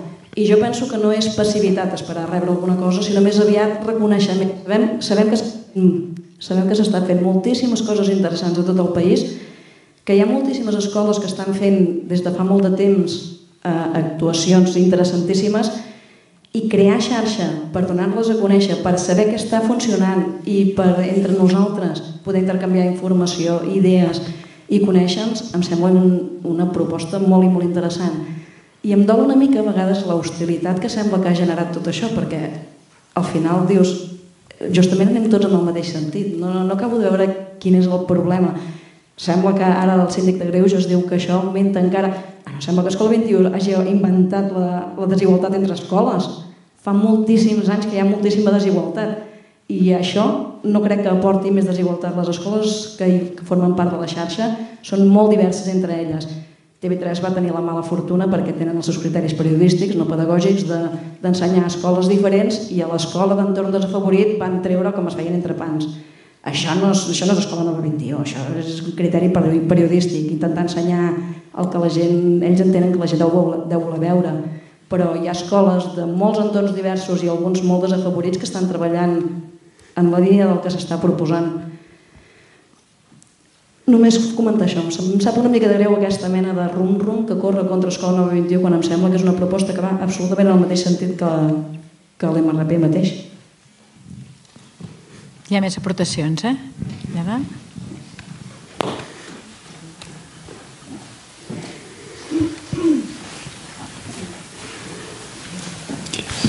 Sí. Bones. Uh, jo sóc educador, treballo en una escola bressol, val? també un punt d'existim. Uh, sí, una miqueta en la línia també perquè, uh, bueno, no sé per on començar. Uh, L'idea una mica aquest de la renovació, de la innovació, les escoles bressol uh, hem estat, jo crec la meva experiència no és gaire llarga, però sí que el que percebo és que hem estat històricament ignorades per l'administració, no no amb el sentit de, de la primària, la secundària, sinó amb el sentit de la invisibilització, o sigui, de no, ja us ho fotreu. Vale? Això ens ha permès, per una banda, igual que ho ha permès la, la poca eficàcia de les inspeccions, ha permès que es pugui seguir renovant tot i, i el que venia de dalt, a les escoles bressol s'ha pogut fer molt gràcies a això i al compromís dels, dels professionals, mestres i educadors que hi treballem.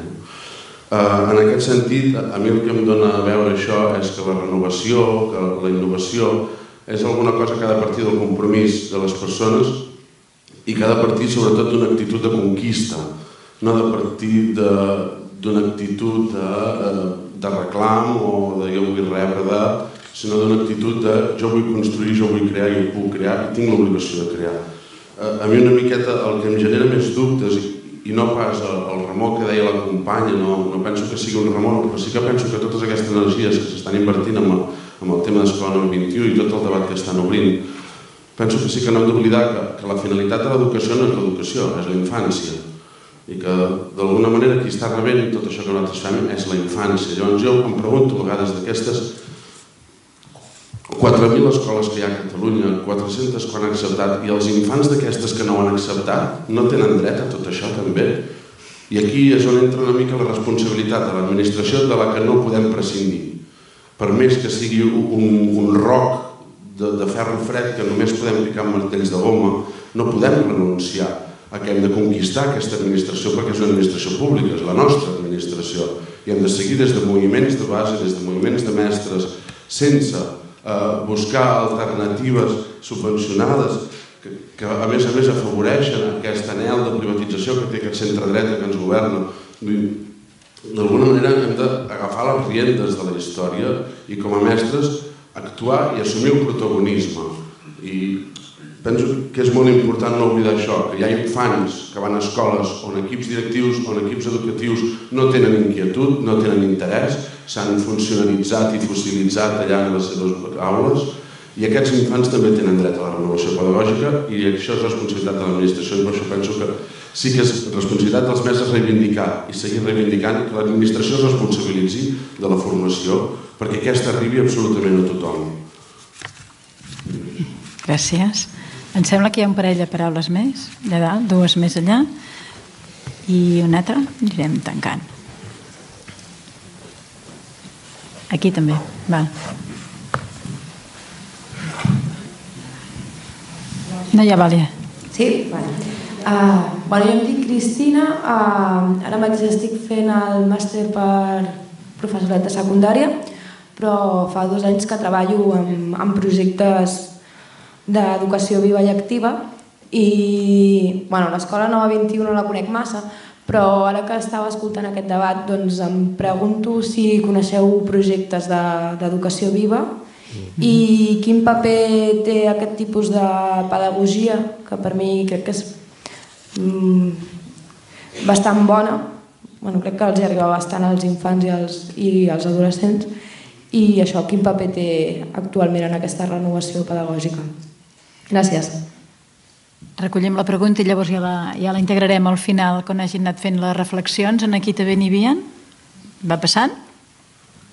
Sí, gràcies. Hola, jo sóc l'Ariadna, sóc mare d'un nen i una nena que van a l'escola de primària i una nena que va a l'escola Bressol.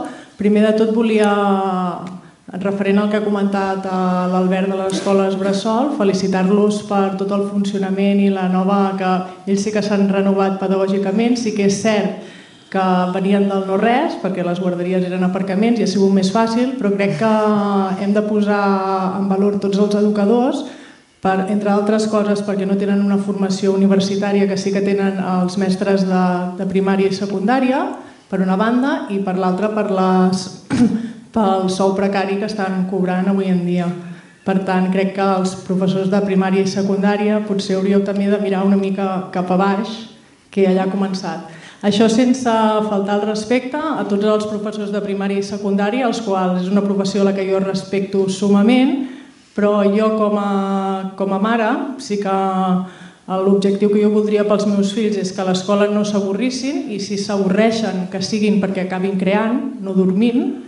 Aquest seria un dels primers objectius, però l'altre objectiu més principal i la mancança que hi ha avui en dia crec és el valor, a eh, la, la, a la pèrdua que s'ha fet a les escoles de l'educació en valors que no sou pas els responsables perquè ha sigut una pèrdua general en tota la societat, però potser és una de les coses que jo em preocupen més i voldria saber, o sigui, els mestres, si realment només ensenyeu o ensenyeu i eduqueu.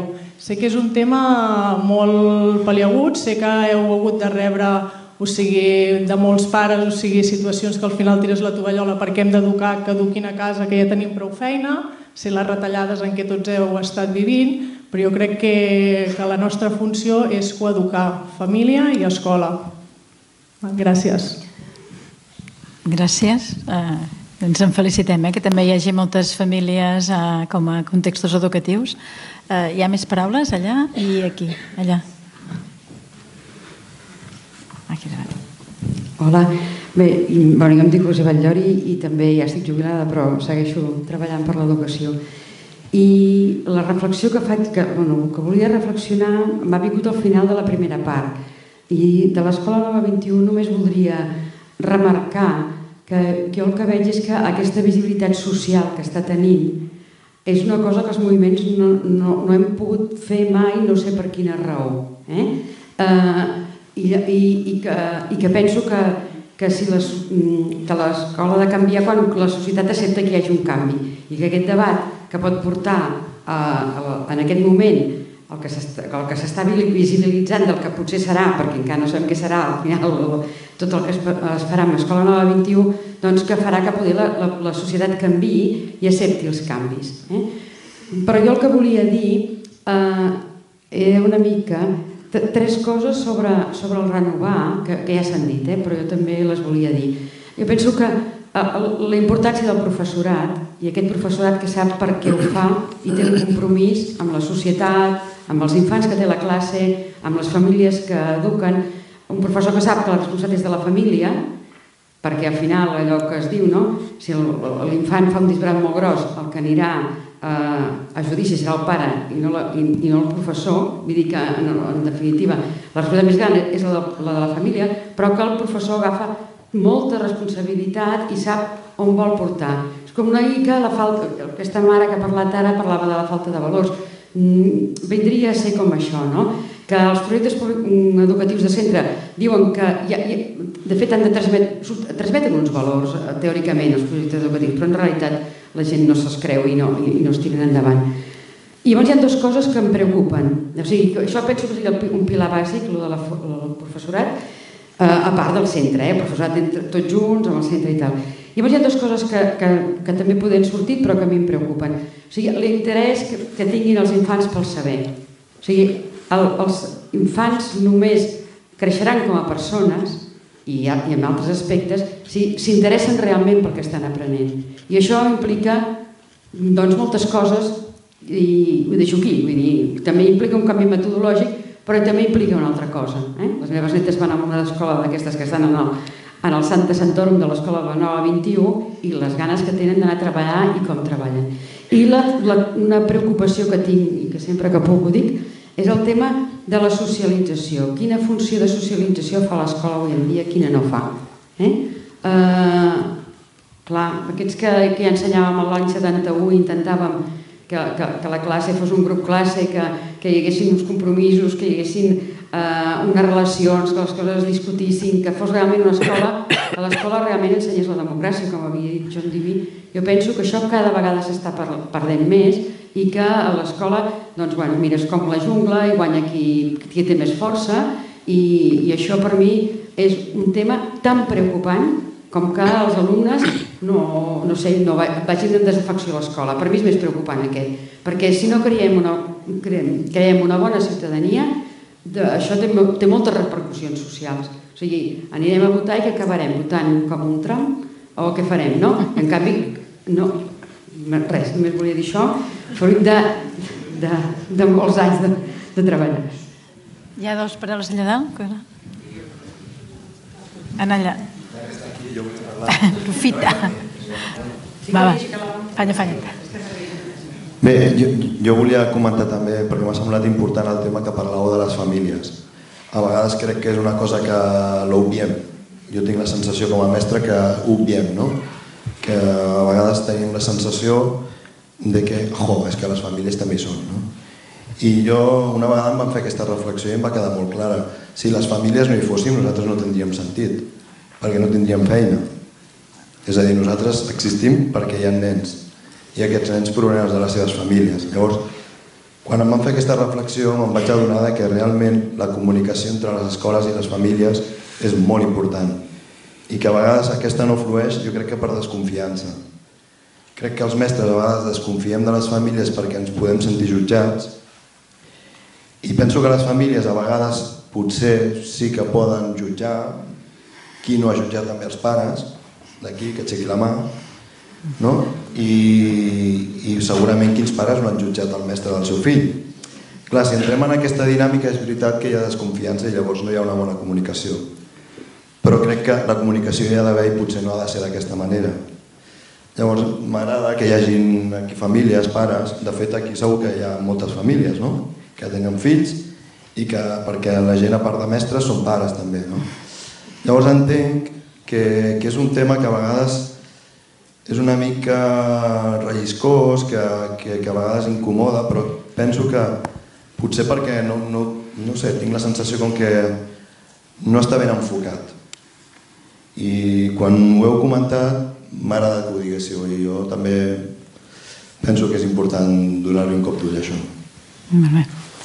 Uh, anem gestionant les paraules que estan aquí. Ha una, dues, ja. És que el temps deu ser, gràcies.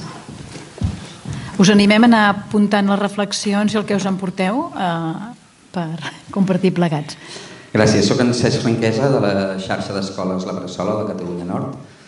Um, i, I una cosa que m'ha agradat molt, em sap greu perquè no és concretament de la xerrada, sinó de la presentació del blog, era aquella frase de confiem, eh, si no la recordo malament, confiem en el nosaltres per fer jocs millors o individus millors, una, una, una frase que més o menys anava així. No?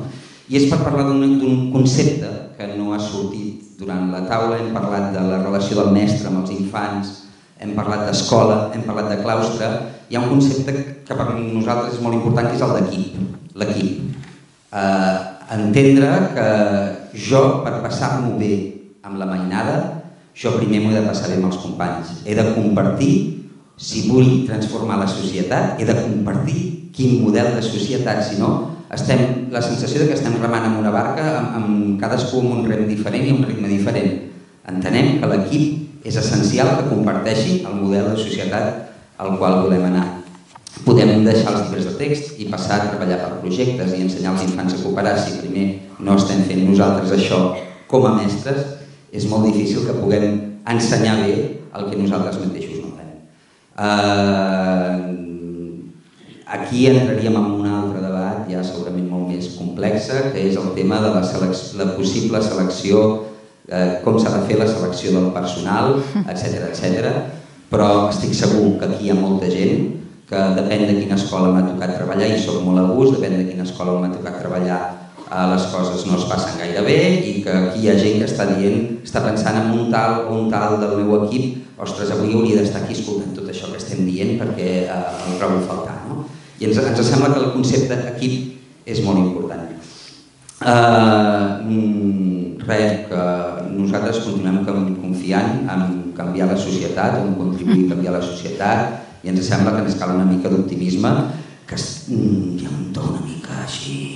Optimisme perquè la feina que tenim per fer és gran, és forta i nosaltres tenim una administració molt en contra, molt, no som escola pública, per tant, en aquest context no som escola d'estat. Som escola associativa, som escola popular, eh, administrativament concertada. I allà havia l'Albert. Hi ha algú més que vol aportar abans de tancar? Aquí, va, anem passant, aquí esteu a la mateixa fila. Vull intervenir també un moment. Uh, soc Albert Quintana, soc professor de secundària i jo també volia dir que tot el que estem parlant i sobretot els que som aquí i tot el que aquests dies es parla és que hi ha molta gent, almenys la primera impressió és com s'ha dit al principi de la taula, que som molts els que volem una educació millor i una educació diferent. No? Però jo també, segons com anava el debat, també tenia una mica la impressió de dir és que però aquesta innovació que volem, o aquesta renovació, hi ha pressa. Jo volia afegir aquest element de, de la pressa, no? que espero que no estigui eh, en contradicció amb l'educació lenta. Però sí que hi ha pressa per aquesta innovació. Els que, ne, els que anem a poc a poc tenim una mica de pressa, eh, de totes maneres, perquè... Eh, ho dic perquè jo cada dia que vaig a l'institut doncs els nanos que no, que no funcionen sempre són els mateixos, sempre són els que queden al marge, eh, se, se, aquest, eh, aquests nois i noies tenen risc aquest, el sistema de secundària. El meu fill que està fent quart d'ESO, que no és un alumne tipus, doncs ja, ja no li arriba aquesta innovació. No? Eh, per tant, en aquest sentit, jo penso que, que part de les ganes que demostrem la majoria, o una part tant, és que ja els que demanen canvi de veritat ostres, perdoneu, eh? sí, sí, són els propis alumnes els nois i noies que tenim cada dia al davant i que fan aquella cara de, de tres pams quan parlem segons com amb ells o, o segons quin tipus d'activitat els hi fem. Per tant, jo crec que en aquest sentit hem d'anar de pressa i vigilem d'allargar molt i molt els debats. L'important també és, com s'ha dit, l'utopia és començar a caminar, no? Per tant, caminem. Eh? I llavors una mica eh, en, en aquesta perspectiva, jo penso que és important, que, i això també ho vull remarcar, és el tema de les xarxes. I, i que potser a vegades estem discutint més el tema de lideratges, qui lidera aquesta innovació, eh? Que no pas a vegades també si volem innovar o no volem innovar.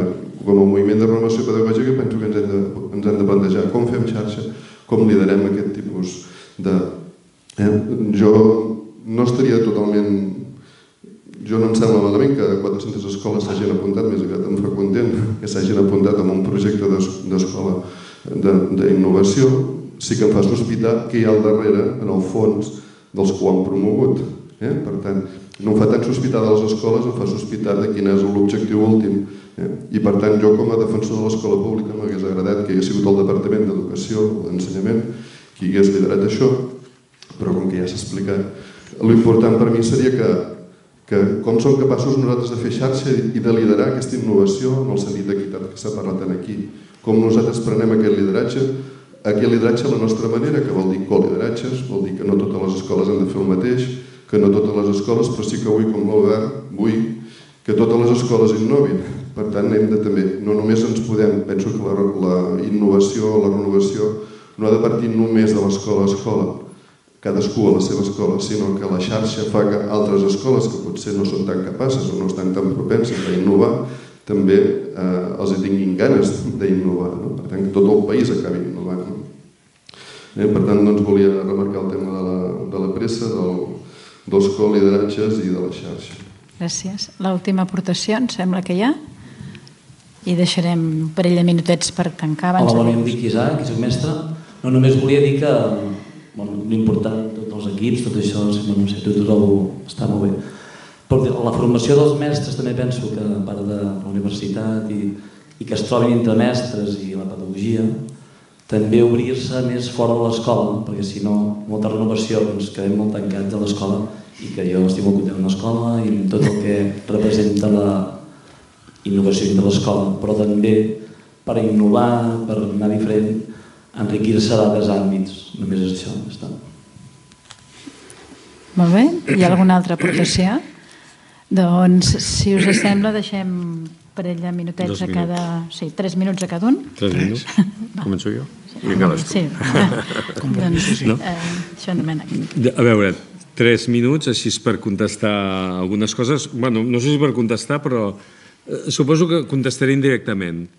Jo crec que Uh, si algunes... Eh, senyalaré tres o quatre coses que em semblen importants de, a ressaltar del programa Escola Nova 21 i un parell de perills, no? que jo també veig i que per tant també vull posar sobre la taula per acabar. Jo, jo crec que donaria resposta a moltes de les coses que hi ha aquí. No? Uh, la primera és la idea, jo crec que no sé si s'ha transmès bé o no s'ha transmès bé, però que la idea de que necessitem un canvi sistèmic jo crec que això ho posa sobre la taula Escola Nova 21, almenys amb els plantejaments que he sentit i que han fet. No? És dir, que el canvi no solament eh, és per crear un, una sèrie d'experiències aïllades, sinó que és necessari que canvi sistèmic. Eh, la qüestió a discutir seria l'estratègia que segueixen per aconseguir aquest canvi sistèmic, però com a mínim aquesta idea jo crec que és important. La segona que aquest canvi sistèmic ha de partir de la renovació de cent, del tot el centre educatiu, no de la coordinació d'experiències aïllades, no? sinó de que és molt important que es consolidin cultures de centres educatius forts, amb fortalesa pedagògica i amb fortalesa com a projecte. El tercer aspecte que em sembla positiu, que ja s'ha dit, que és visibilitzar una maneres, maneres diferents eh, de treballar educativament ho ha fet. Podem dir, altres ho podien fer i no se n'han sortit. Vegis moviments de renovació pedagògica, xarxa 02, 12, el que sigui. Ells ho han plantejat i com a mínim ho han posat sobre la taula. I la idea de que, amb això discutiríem molt sobre el tema de la formació, el tema de plantejar la formació entre iguals com una de les maneres d'intentar solventar el tema de com renovem escoles diferents, amb situacions diferents i com fem transferència de coneixement entre escoles que són absolutament diferents. Els plans que sembla ser que es tiraran endavant en alguns municipis amb el suport de la Diputació jo, jo crec que donen una certa idea de que això pot anar per aquí i en aquest sentit jo ho veig positiu. Dos perills, o, o com a mínim un, o, un un que és global, ho deixarem amb un i en tot cas una, una coletilla al final. No? el paper, de les, el paper que jugarà aquí les escoles públiques. Eh? I això ho poso com a exemple eh, clar. Escola Nova 21 pot anar en una direcció o en tota una direcció contrària. I aquí qui pot decantar que Escola Nova 21 vagi en una direcció o una contrària és les escoles públiques que hi participem. Per tant, aquí hi ha una responsabilitat ja que l'administració, jo també, jo també reclamo l'administració que assumeixi les seves, les seves responsabilitats, però des de mm, vosaltres mateixos heu dit quants anys fa que no hi ha pressupost per formació permanent. No? Molts anys. La nostra escola fem formació permanent perquè amb un acord amb les famílies ens la paguem nosaltres i la fem fora de l'horari de permanència en el centre. No? I continuem fent-la, i continuem reclamant-la a, a l'administració. Per tant, el paper, i per mi el, el punt més delicat d'aquest programa és el paper que jugarà l'escola pública a dintre el programa. I poso sempre el mateix exemple. L'escola Clavé és el baluart dels jesuïtes a dintre el programa Escola Nova 21. Darrere a l'escola Clavé de Lleida hi ha tots els jesuïtes. Darrere les 16 escoles que estem, instituts, que estem en el nucli aquest de les 25 escoles, estem nosaltres, no hi ha ningú. No hi ha ni el Consorci d'Educació amb els de Barcelona, ni el Departament d'Educació de la Generalitat, ni res de res. No? Per tant, aquí el, un dels perills que tenim és el paper que nosaltres jugarem aquí. Podem jugar un paper per eh, plantejar el debat coneixement amb ètica, equitat, desigualtat, experiències que realment transformin i que no siguin només canvis metodològics o formals, no? però això, aquest paper l'hem de jugar a l'escola pública, perquè en el fons el que ens creiem que el motor del canvi sistèmic eh, en educació ha de ser l'escola pública. No? Volia acabar dient això i volia acabar dient un tema de confiança i desconfiança, abans i fent referència al tema dels valors. No? Eh, el tema de la crisi de valors no és una crisi de valors que estigui a l'escola, és una crisi de valors que està a la societat. I posaré dos exemples. El tema de l'esforç i el tema de la confiança. Uh, últimament, uh, no sé qui ho ha dit, una mare, eh, que parlava, parlava del tema dels valors.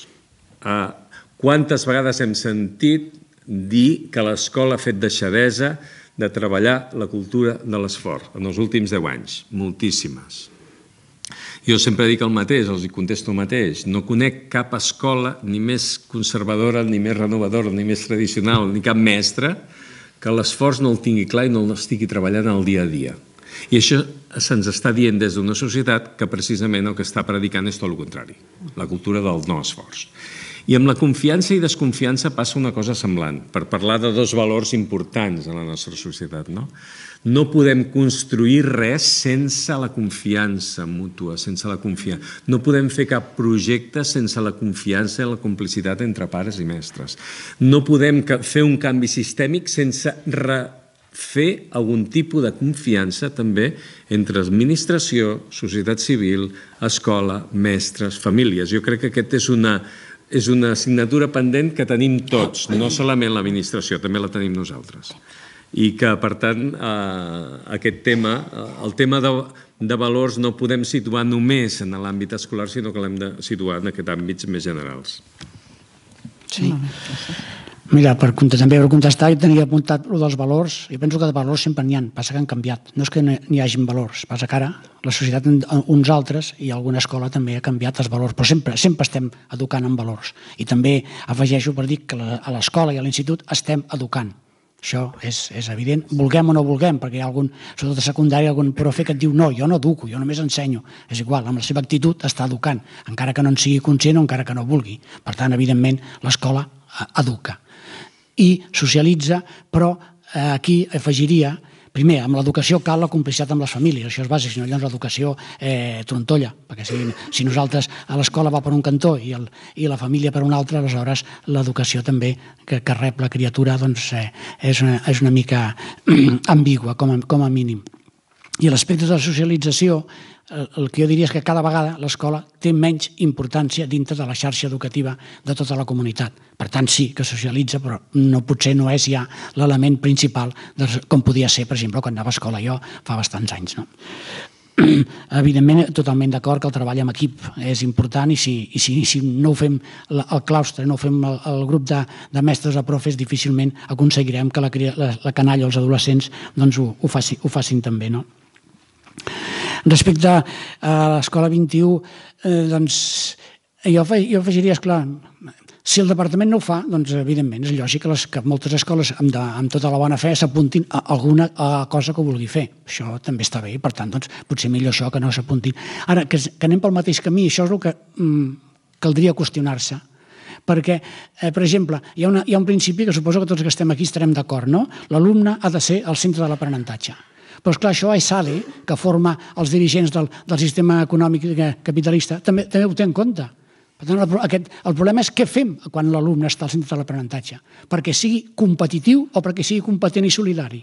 Clar, amb la mateixa, amb la mateixa metodologia amb el mateix principi educatiu podem fer una persona competitiva que trepitges del costat per arribar a, a ser el primer de, de qualsevol cosa o una persona que sigui competent amb el que, estem, el que l'estem ajudant a aprendre i que sigui solidària i crítica. I això, els, els documents i els, i els capdavanters de, de l'Escola 21 no ho, tenen, no ho han definit. Per tant, és un altre interrogant que jo afegeixo als, als que ja he dit abans i que evidentment no, no, els, no els tornaré a repetir. Però també afegeixo que no hi ha res almenys jo ara ja amb aquests anys dic que tot sigui, totes les coses tenen aspectes bons i aspectes negatius, com deia el Joan, totes les aspectes, per tant, a l'escola 21 tindran coses aprofitables i altres que no. A mi em fa por que d'aquí tres anys s'hagi acabat i com que el departament eh, li repeteix, li, no té cap ganes de que això sigui així, doncs no, no continuï, a no ser que forcem, encara que estic d'acord que s'ha de ser des de, des de les escoles, però clar, l'administració també hauria de fer una petita ajuda o almenys no frenar les ànsies de renovació que, que, que s'estan tenint. No? Jo per acabar diria eh, tres eh, criteris de cara a avançar. Primer, el que ja, ja he dit abans, qualsevol renovació ha d'estar a l'abast de tothom. Per això, també com deia el Joan, l'escola pública hauria de ser la capdavantera perquè és la que està més a l'abast de tothom, de totes les persones. Per tant, aquí és el que hauríem d'apoyar. Segona, en termes educatius, tots tenim coses a dir i a pensar la formació entre iguals, i no és ara per, per dir que encara no hi ha diners, no, així ens la farem sense necessitat de pagar ningú, no, però l'escola, la formació entre iguals i la renovació eh, en, en la participació de tots és la que avança, perquè tots tenim coses importants a dir, totes les persones. No hi ha ningú que no tingui cap idea important ni cap actitud eh, bona per tirar endavant, i per tant això ho hem de tirar endavant.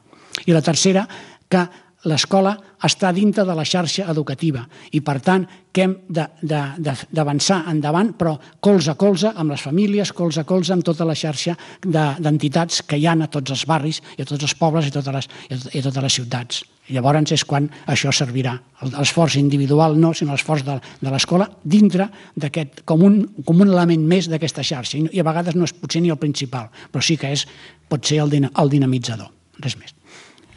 Molt bé, gràcies. Moltes gràcies, Joan Maria, moltes gràcies, Joan. Moltes gràcies a tots i a totes per participar, eh, per aquesta mirada atenta, per aquesta reflexió compartida, amb aquestes ganes de continuar esperonant els moviments de renovació, perquè construïm realment xarxa o xarxes, és igual quines, en les quals eh, hi hagi aquests fonaments per una educació plural, més justa, més equitativa, eh, com, a, eh, com han ha anat dient. Eh, Recordar-vos doncs, que estem aquí, eh, com a moment de renovació a Girona ens, ens en alegrem de, i agraïm la vostra participació i les vostres reflexions. Eh, nosaltres eh, som un moviment obert, eh, que hi podeu participar eh, sempre. Ens trobem cada, el segon dimarts de, de cada mes, eh, de, de 6 a 8 del vespre. Ens trobem aquí a Salrà, a Can Punal, eh, i sou tots convidats a fer petites reflexions, a contribuir a anar augmentant aquesta, aquesta xarxa. Recordeu-vos que podeu deixar les vostres, les vostres reflexions. Teniu aquí també informació del moviment i doncs ens eh, esperonem a, a inaugurar i a compartir aquest curs amb tota la, la força, vinculem la nostra experiència, la nostra reflexió i anem creixent per, per una educació pública i de qualitat. Gràcies a tots i a totes i fins a la propera.